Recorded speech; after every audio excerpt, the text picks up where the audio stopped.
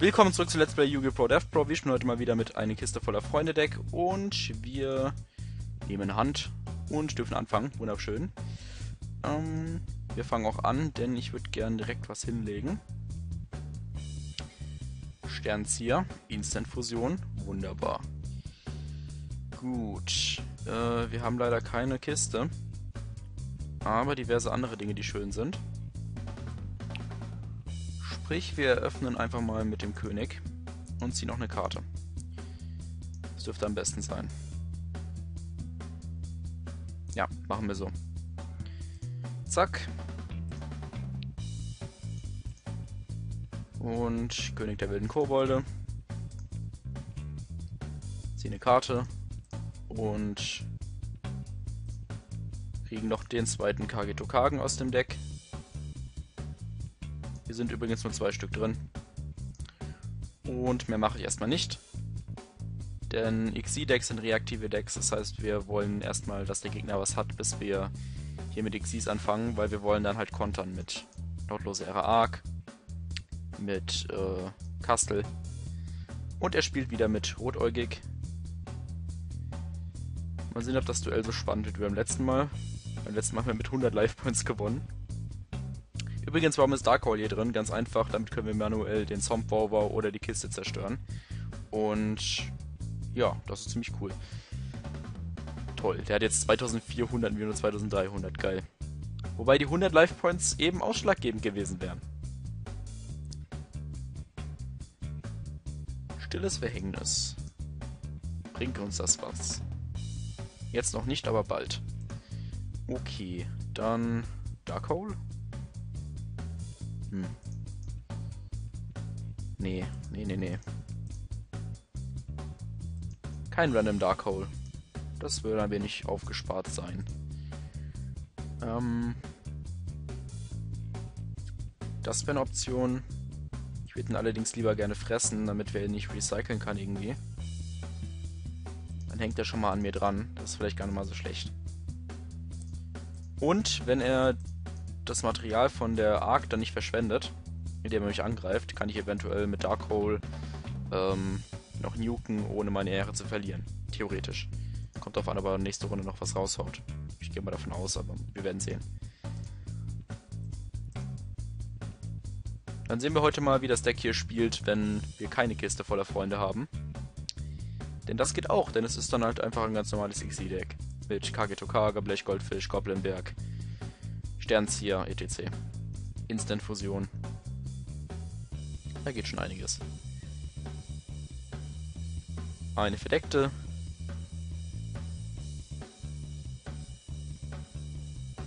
Und Drachenschrein. Sprich, er hat einen Rotaugen im Friedhof. Verdammt. Das ist gar nicht so gut. Denn dann kann er hier den schwarzen Stein recyceln.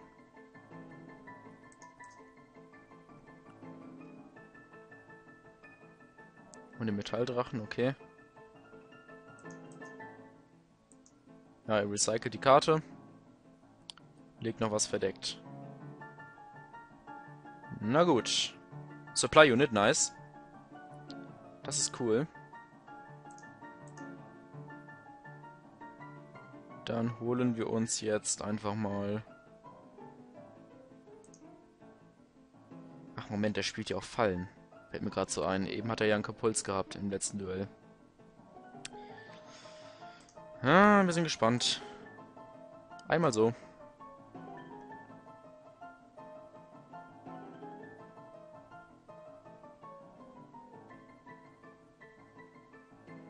Und er überlegt. Oh, das ist ärgerlich. Die Nachschub, äh, der Nachschubtrupp ist auf jeden Fall ziemlich geil.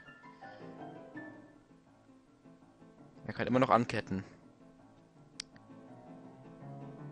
Na los, entscheide dich. Willst du dein Kompuls oder was auch immer es ist verschwenden oder nicht? Saphir kommt noch dazu.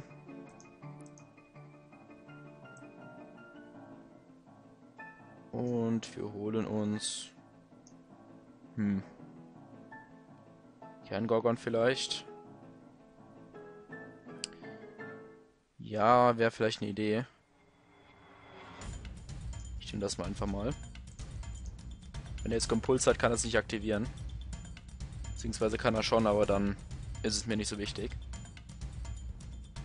Und der hat Bottom, das ist geil. Gut, dann zerstören wir das.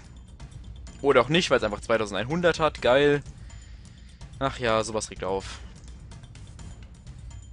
Wir haben sehr wenig Karten, das heißt, ich kann auf XC gehen, wenn er jetzt ein Überfeld bekommt irgendwie. Das sollten wir nicht vergessen, die Möglichkeit.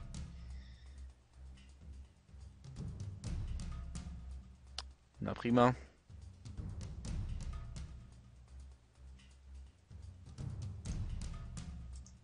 Autsch. Aber auch das kann uns egal sein. Geil. Schöner Top-Deck. Noden. Noden holt Sternzieher. Und dann gehen wir auf Finstere Rebellions Exildrache. Und dürfen noch eine Karte ziehen, soweit ich weiß. Genau. Sternzieher aktiviert sich dann nämlich trotzdem. Und wir haben leider einen sehr dummen Fall gerade erwischt. Wir haben die dritte Instant-Fusion gezogen. Ähm, man spielt in einem guten XC-Deck nur zwei Nodens, weil es ultra unwahrscheinlich ist, dreimal Instant-Fusion zu ziehen. Und was gerade passiert? Genau das. War ja klar. Ähm. Zack. Unterholt irgendwas? Habe ich was verpasst? Ach, den kann er sich holen. Och nee, scheiße, dann haben wir eben Schaden verschwendet. Fuck. Okay, das wusste ich nicht. Sorry. Das ist ärgerlich. Oh, das ist, das ist echt scheiße, weil es ist so unwahrscheinlich, dreimal Instant-Fusion zu ziehen. Das passiert dir in 30 Duellen nicht unbedingt einmal. Das ist wirklich ultra selten.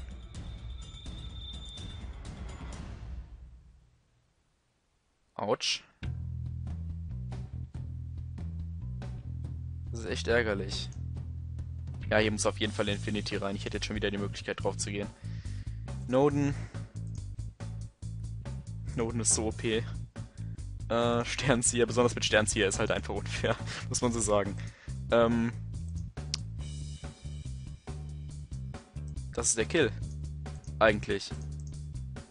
Ich denke nicht, dass er dagegen was machen kann. Wir haben im ganzen Duell nichts gezogen, was wir haben wollten. Aber okay.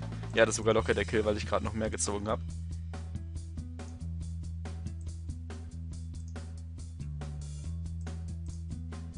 So.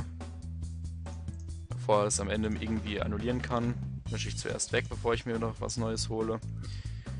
Ähm, keine Ahnung, Ragnar Zero hat viel Angriff. Und dann haben wir hier ein wundervolles GG.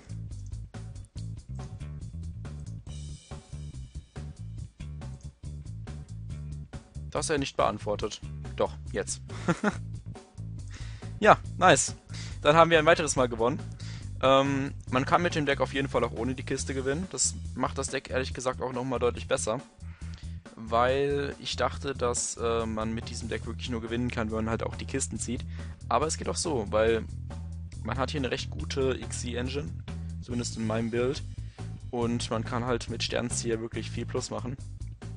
Die Karte sollte man nicht unterschätzen. Gerade durch Instant-Fusion und Noden ist es halt echt OP mit Sternzieher. Wie man eben gesehen hat. Wobei das hier ein Extremfall war. Ähm, obwohl gerade diese Situation hier war, ja, mit den drei Instant-Fusionen, spielt nur zwei Nodens. Weil es ist ultra unwahrscheinlich, wirklich ultra unwahrscheinlich, dreimal Instant-Fusion zu ziehen.